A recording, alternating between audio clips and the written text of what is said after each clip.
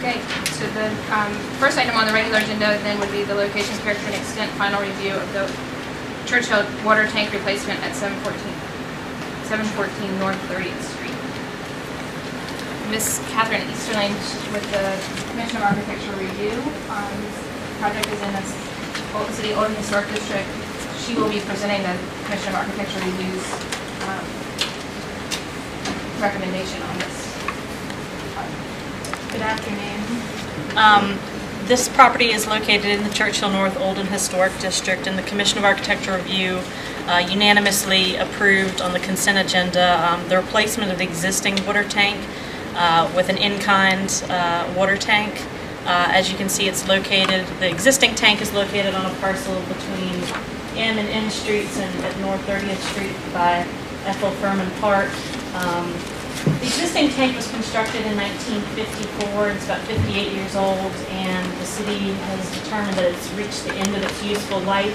They considered uh, rehabilitating the tank, but they didn't find it economically feasible, and so what they're doing is proposing to utilize the rest of the site. They're going to be constructing a water tank with the exact same proportions, dimensions, appearance, um, that'll hold the same amount of water on the site, and uh, They're going to allow that tank to be set up and constructed and run for a few months and determine whether or not it's working properly. And once they determine that it's working properly, they will demolish the old tank. Um, Nothing will um, change on the exterior of the existing pump house here. I believe I had a few better photographs of the property.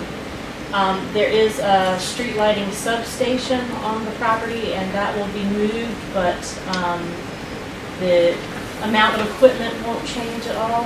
Uh, So they're going to reconfigure the site, but essentially it's going to be the exact same amount of equipment with the same appearance. They're proposing to landscape and screen some of the equipment uh, at a later date. They're also going to be removing the chain link fence that's around the parcel and replacing it with a much more appropriate uh, metal picket fence that would meet security requirements.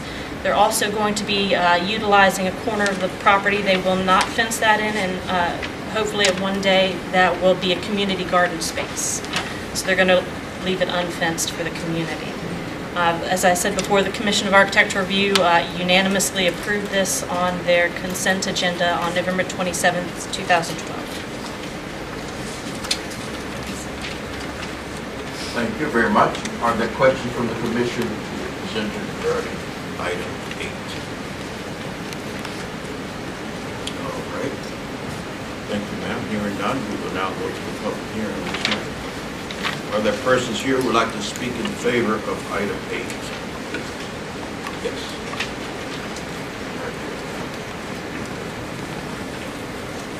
My name is Scott Berger, citizen of the City of Richmond. I just wanted to briefly say that this would be a, I think would be a good opportunity for exploring the use of solar energy.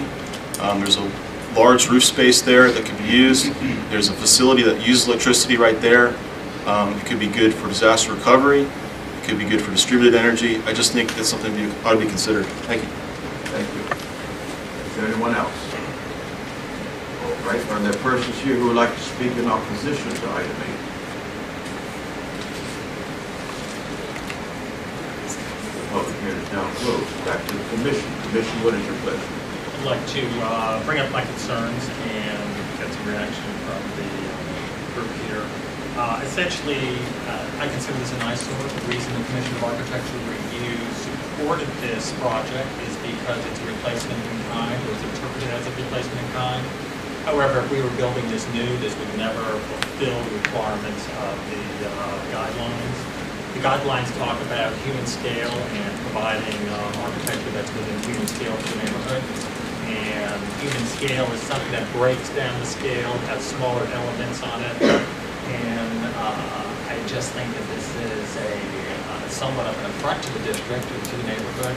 And would love to see options to improve the, the environment over what they're proposing.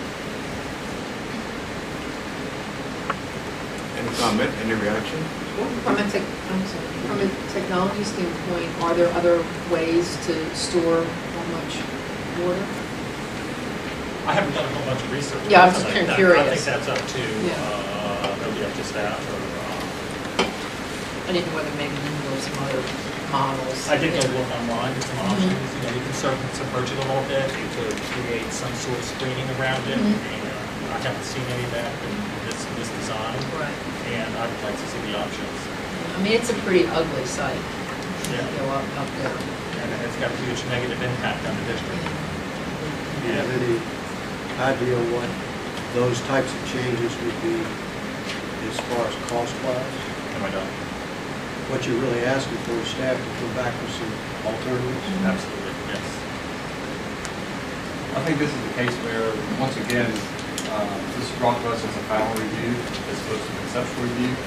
So the applicant left out a step, and perhaps these questions could have been answered months ago if we don't go to conceptual review first.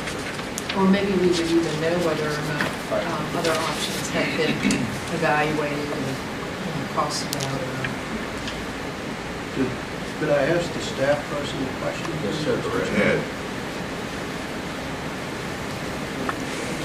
Is there a a pressing need to do this immediately? I don't believe so. Um, Ms. Janice Bailey is the contact within the Department of Public Utilities, and she could speak more intelligently to that. But um, I don't believe that it's a very, very urgent need at the moment. I believe they are planning on getting started this summer. So a delay of 30 days to do some further research would cause no real harm that you're aware of? Not that I'm aware of, no. But perhaps, I'm not sure if there's anybody from Public Utilities here. There might be somebody from Public Utilities here to speak to this. This has to go to BZA as well. So we can't act until you act. That's what you know. It's still a 45-day process, so I I don't see any real hmm? harm in asking the staff hmm? to come back with some other alternatives. I'd like to make that the form of a Could I, motion. could I make a friendly amendment to your motion? And that would when they come back to us with these cost estimates also, because that's going to be, have to get back to you. Okay, So would this be a deferral or would this be a denial? This, uh, I'm going to move to defer until staff can come back with some recommendations and the impact and cost of those recommendations. And can I add something to that? And I don't know what the time sensitivity is on this. Is there time sensitivity on this? Uh, yes, we would like to go ahead and replace the tank, um, because it is, uh, reaching its useful life. Uh, we did look at, uh, possible, uh, two tanks on the site, um, and what drove us to the one tank was the cost, uh, for the improvements. Did you look at other ways of um, reducing its impact on the neighborhood? Right now, we feel has a negative impact on the Well, that one was when we looked at the two tanks also. And about and grading and screening and and all those things that. Well, we figured we would co- cover, uh, the berming would probably be- be with landscaping, you could uh, mount up, but that would not affect the tank.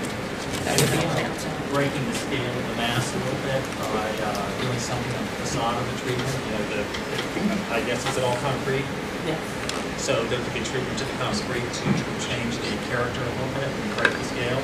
Um, We have not looked farther into that. We looked at maybe uh, the color, maybe we can tint it some to diminish some of the look on it.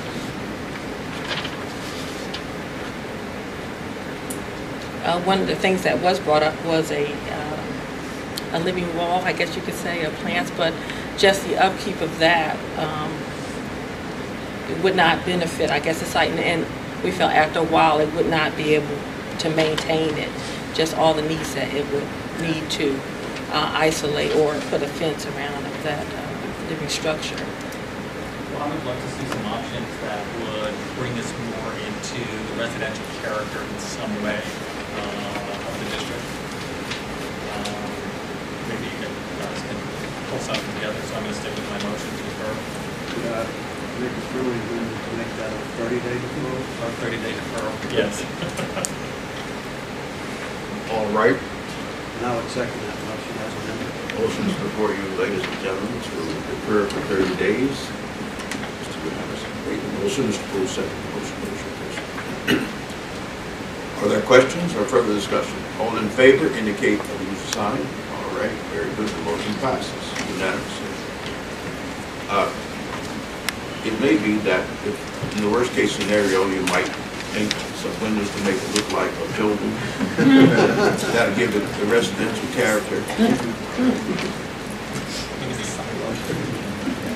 Put a farm. Next item, Madam Clerk.